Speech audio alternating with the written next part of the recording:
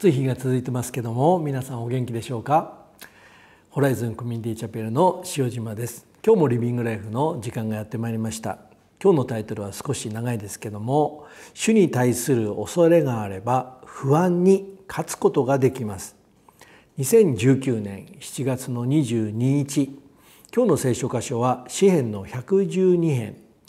1節から10節になります。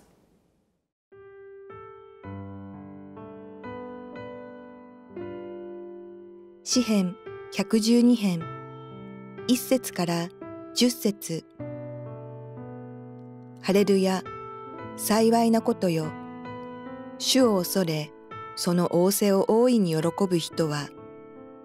その人の子孫は地上で力あるものとなりすぐな人たちの世代は祝福されよう。繁栄と富とはその家にあり彼の義は永遠に固く立つ。主はすぐな人たちのために光を闇の中に輝かす。主は情け深く、憐れみ深く、正しくあられる。幸せなことよ。情け深く人には貸し、自分のことを公正に執り行う人は、彼は決して揺るがされない。正しいものは常しえに覚えられる。その人は悪い知らせを恐れず、主に信頼してその心は揺るがない。その心は堅固で恐れることなく、自分の敵をものともしないまでになる。彼は貧しい人々に惜しみなく分け与えた。彼の義は永遠に固く立つ。その角は栄光のうちに高く上げられる。悪者はそれを見て苛立ち、歯ぎしりして溶け去る。悪者の願いは滅び失せる。今日の詩編は112編です。この112編は主が望んでいる幸いを実現することができる人の特徴について書かれています。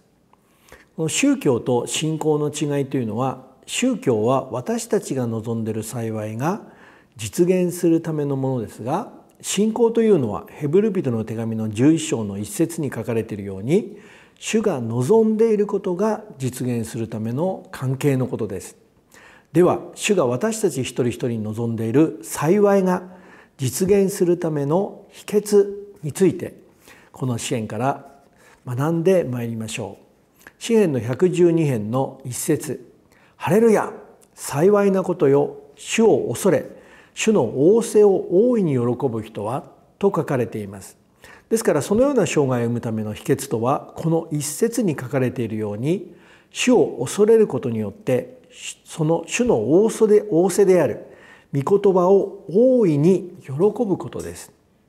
ですからまずそのような生涯を歩むための必要なことはこの主を恐れることです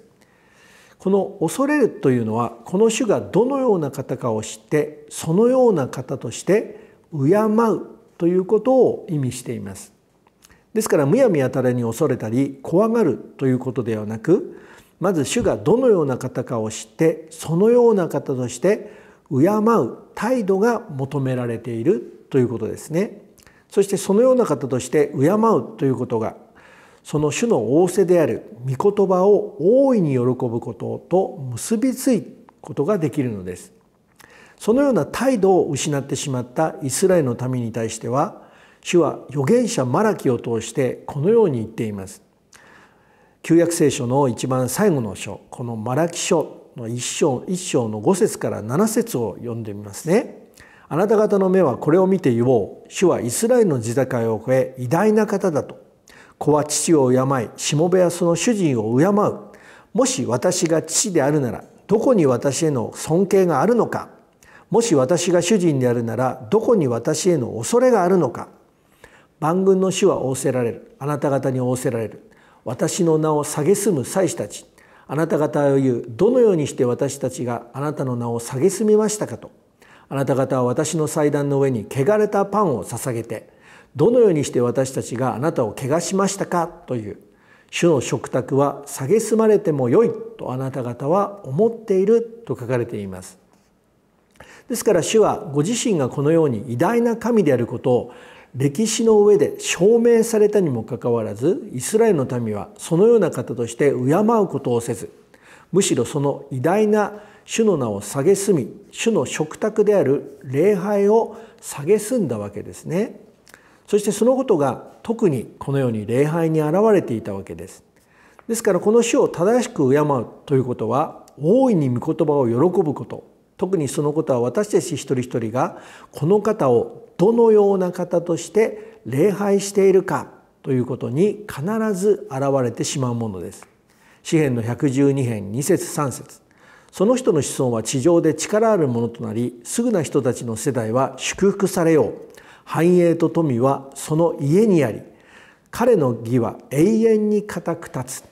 このように主を恐れその主の仰せである御言葉を喜ぶ人は地上で力あるものとなりその主に祝福されこのように繁栄と富つまり物質的な祝福を受けることによってもこの主を表すことができるのです。つまり霊的な祝福が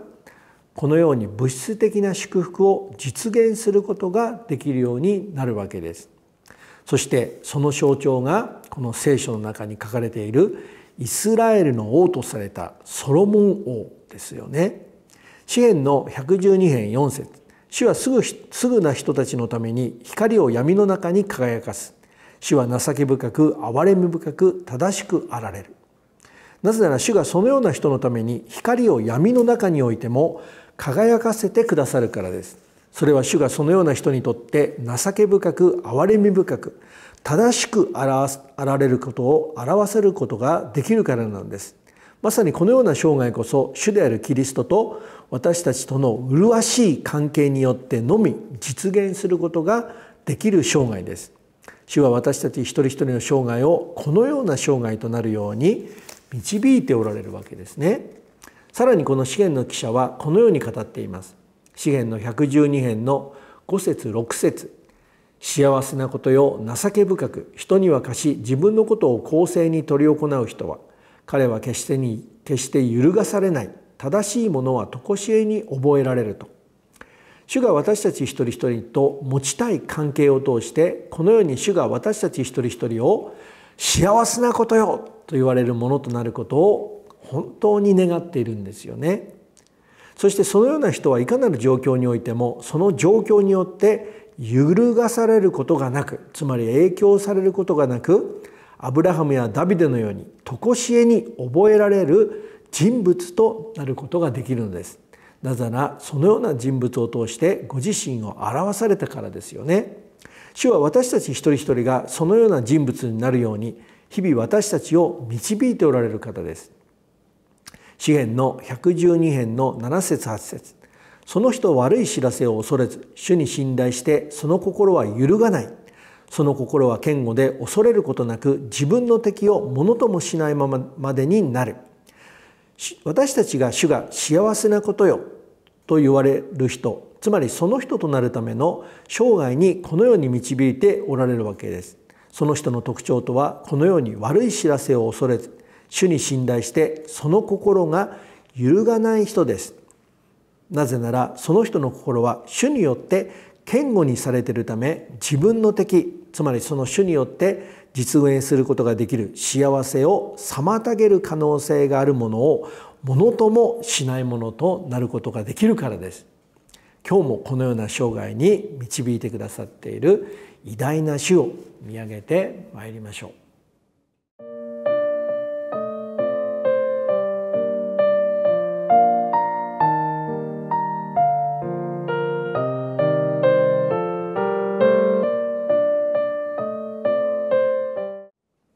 私たちはこの詩篇112編から主が私たち一人一人を幸せなことよ。ということができる人物その人になることができる秘訣について学んでいます。詩篇の112編の最後に9節10節をお読みいたします。彼は貧しい人々に惜しみなく分け与えた。彼の義は永遠に固く立つ。その角は栄光のうちに高く上げられる悪者はそれを見て苛立ち歯ぎしりして溶け去る悪者の願いは滅び失せると書かれています。主は私たち一人一人の生涯が幸せなことよということができるその人となるように導いているわけです。しかしそのような生涯を妨げようとする悪者究極的にはサタンが存在しています。しかし私たちがこのように主を恐れ主の仰せである御言葉を喜ぶものとなるならむしろそのようなものが主によってこのような人物になった私たちを見て苛立ち歯ぎしりして溶け去るつまりそのような存在が主によって滅び失せることを見ることができるわけです。今日も私たちがこのようなキリストにある圧倒的な勝利に預かることができるように導いてくださっている主と共に歩んでまいりましょう主の祝福をお祈りいたします愛する天皇お父様感謝いたします。今日もあなたの子供たち一人一人をこのように幸せなことよと言われる人物になるように導いてくださっています。そしてこのように御言葉を私たちに与え私たちがその御言葉を大いに喜ぶものとしてあなたが守り導いてくださるように心からお願いいたします。力強いキリストイエスの皆によってあなたの子供とされた一人一人を祝福してお祈りをいたします。アーメン。